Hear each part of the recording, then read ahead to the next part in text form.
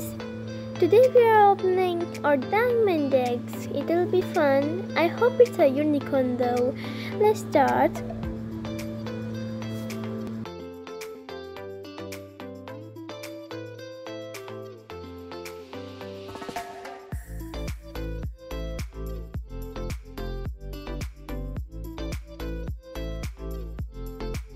Okay, so my pet is hungry, sleepy, and thirsty.